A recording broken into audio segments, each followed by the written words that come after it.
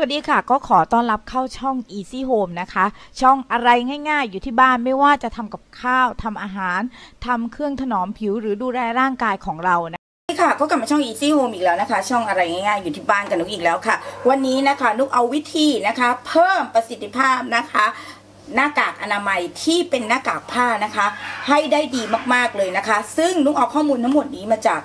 เพจดังเพจหนึ่งนะคะ ก็คือเคมีฟิสิกส์สิงทอนะคะ เดี๋ยวเราไปดูวิธีทำกันค่ะขั้นตอนแรกเนี่ยเราก็จะต้องมาเตรียมอุปกรณ์กันก่อนนะคะ เพื่อเพิ่มนะคะประสิทธิภาพนะคะของหน้ากากอนามัย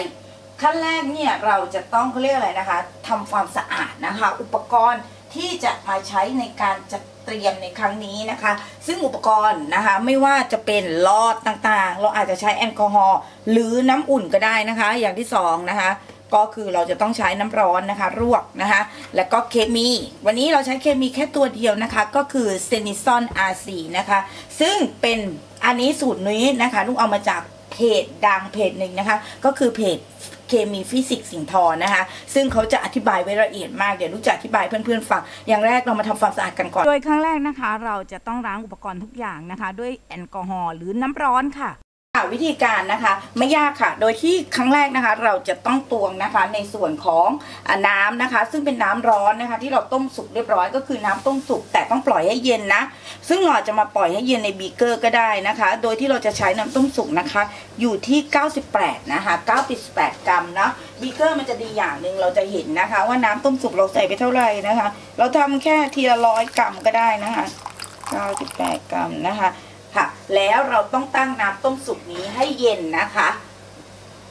นะคะน้ำร้อนนี่เราต้องตั้งให้เย็นก่อนแล้วเราถึงจะใส่เคมีตัวนี้ไปนะคะ เดี๋ยวเราไปดูเคมีตัวนี้นะคะ ว่าดีอย่างไร ซึ่งลูกเอาข้อมูลทั้งหมดมาจากเพจดังเพจหนึ่งก็คือเคมีฟิสิกส์สิงห์ทอนะคะ ซึ่งช่วยได้จริง ๆนะคะ และนุกจะบอกวิธีหาซื้อตัวนี้หาได้ที่ไหนนะ ซึ่งบอกเลยตัวนี้ตอนนี้ราคาแพงเนาะเพราะว่าร้านที่นำเข้ามาเนี่ยตอนนี้ราคาเขาอะปกติแต่ว่ามีคนไปตุนแล้วก็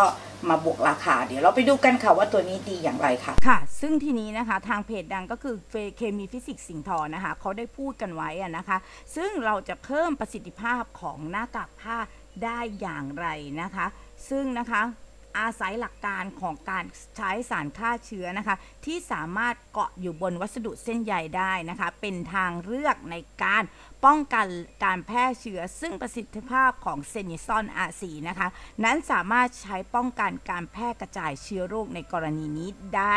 ดีนั่นเองค่ะ Sanisol RC นะคะ มีชื่อทางเคมีคือ benzalkonium chloride นะคะ ซึ่งมีสภาพประจุเป็นบวกนั่นเองค่ะ ซึ่งจะเกาะเส้นใยได้ดีนะคะ และที่สำคัญนะคะไม่จางหายไปนะคะ ในการประสิทธิภาพในการฆ่าเชื้อโรคนะคะ ไม่จางหายไปเหมือนกับแอลกอฮอล์นั่นเองค่ะ ซึ่งหน้ากากผ้าเราก็ใช้วิธีนี้นะคะ โดยที่เราจะใช้สารเนี่ยพ่นไว้นะคะ ซึ่งอยู่ได้ประมาณ 1 อาทิตย์นะคะ ส่วนวิธีการซื้อนะคะซินิคอน RC นะคะ มันจะมีชื่อนะคะอีกอย่างหนึ่งซึ่งชื่อว่านะคะ มันมีหลายร้านนะ ขายแต่นุกอะไปได้ในร้านที่ราคาถูกก็คือหุ้งหวดอยู่ที่ 97 บาทนะคะ ซึ่งตัวนี้ตอนนี้ราคาแพงขึ้น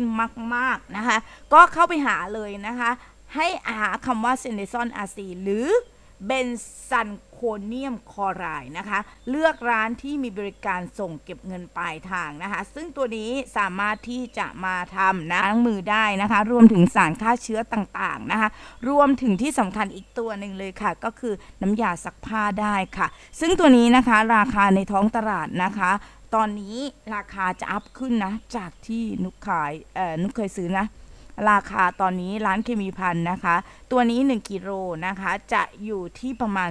238 บาท ราคาขึ้นมือหนึ่งเท่าตัวเลยนะ แต่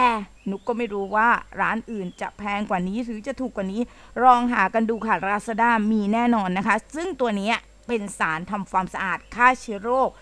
ซึ่งเขาจะใช้กันในอุตสาหกรรมนะคะ ทั้งเครื่องมือแพทย์นะคะ รวมถึง ขุดเจาะน้ำมันด้วยนะคะ ซึ่งตัวนี้เป็นสารที่ไม่มีอันตรายเท่าไหร่นะคะ แต่ว่าเราจะต้องใช้ในเขาเรียกอะไรนะ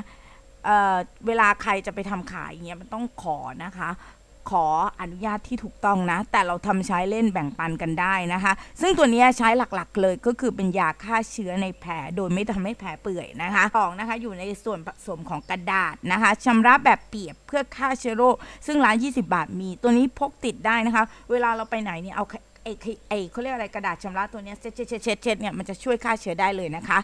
3. นะคะใช้เป็นวัตถุกันเสียในยา เช่น ยาหยอดตา ยาพ่นจมูกนะคะ 4. ผสมในน้ำยาล้างห้องน้ำเพื่อฆ่าเชื้อโรคค่ะ 5. ค่ะใช้เป็นสารทำความสะอาดเครื่องมือแพทย์ 6. ใช้ในการผลิตเจลล้างมือนะคะ เนื่องจากมีประสิทธิภาพในการฆ่าเชื้อโรค และลดการระคายเคืองได้ดีกว่าเจลที่มีส่วนผสมของแอลกอฮอล์นั่นเองค่ะ ซึ่งบอกเลยนะคะว่าควรหาติดเลยนะคะ ราคาไม่แพงใช้ได้นานด้วยนะคะ ขวดหนึ่งแต่นุกเนี่ยบ้าจี้ซื้อมาทั้งหมด3-4ขวดนี่กูกวาดเกลี้ยงเลยอะเพราะนุกก็ไม่รู้ว่าไอ้โควิดนะคะ19 มันจะอยู่กับนุกอีกนานขนาดไหนนะคะ ป้องกันตัวเองไว้ก่อนค่ะหลังจากน้ำเย็นแล้วนะคะ หลังจากเราปล่อยไว้เย็นแล้วนะคะเราใช้เลนิซอน RC นะคะ หรือ BKC 50เปอร์เซ็นต์นะคะ เป็นเวเป็นปริมาณนะคะ 2 กรัม หยดลงไปในน้ำเลยค่ะ และคนทุกอย่างให้เข้ากันนะคะ หลังจากนั้นนะคะให้เราบรรจุลงขวดที่เราทำความสะอาดเรียบร้อยแล้วค่ะ และ ค่ะหลังจากนั้นนะคะให้เรานำไปฉีดพ่นนะคะ ในส่วนของหน้ากากผ้านะคะ โดยฉีดพ่นนะคะ ด้านนอกเท่านั้นนะด้านที่เราเอาแบบไว้ด้านนอกอะค่ะไม่ใช่ว่าด้านที่อยู่ติดจมูกนะ หลังจากนั้นค่ะให้เรานะคะเอาไปผึ่งแดดนะคะ หรือผึ่งลมนะคะ ให้มันเกาะติดมันจะอยู่ได้ประมาณ 1 อาทิตย์ค่ะ และหลังจากนั้นนะคะ ให้เพื่อนๆนะคะนำใส่ลงในกล่องนะคะ ภาชนะแล้วปิดนะคะ เมื่อใช้เราก็นำตัวนี้เอามาใช้ได้เลยนะ หลังจากเราทำเสร็จแล้วนะ หลังจากผึ่งให้แห้งแล้ว เราก็ใส่กล่องอย่างนี้นะคะ เวลาที่จะใช้เราก็เอาออกมาใช้นะคะ โดยที่มือเราจะต้องสะอาดนะคะ เราจะต้องล้างมือนะคะกับแอลกอฮอล์ก่อนนะ และมั่นใจว่ามือเราสะอาดพอ และเอามาสวมใส่ค่ะ เพราะไม่นั้นนะคะจะเป็นการนำเชื้อโรคเข้าหาเราอีกนั่นเองค่ะ โควิด -19 นะคะ เป็นอะไรที่ดู